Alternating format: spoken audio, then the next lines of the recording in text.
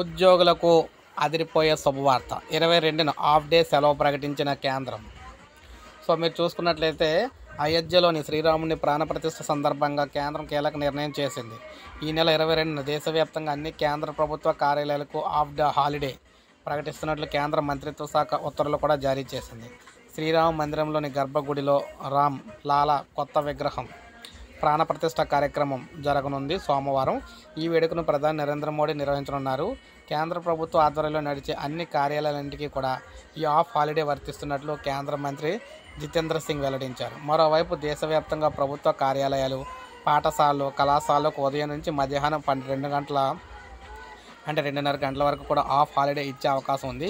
ఈ మేరకు ఆయా రాష్ట్ర ప్రభుత్వాలు నిర్ణయం తీసుకొని ఉన్నాయి కాగా అయోధ్యలో జరిగే రామ్ లాలా విగ్రహ ప్రతిష్ట ప్రాణ అంటే ప్రతిష్టాపన కార్యక్రమాన్ని ప్రజలు ప్రత్యక్ష ప్రచారం చూసేందుకు వీలుగా కూడా ఈ నిర్ణయం తీసుకొని హాలిడే అయితే ఇచ్చారన్నమాట. సో జియో దీనికి సంబంధించిన జియో అనమాట అన్నీ కూడా గవర్నమెంట్ సంబంధించిన అన్నీ కూడా హాలిడే అయితే ఉంటాయన్నమాట ఆ రోజు. ఇప్పుడే మనకు అప్డేట్ వచ్చింది. ఒక లైక్ చేయండి సబ్స్క్రైబ్ చేసుకోకపోతే మన ఛానల్ సబ్స్క్రైబ్ చేసుకొని ఫాలో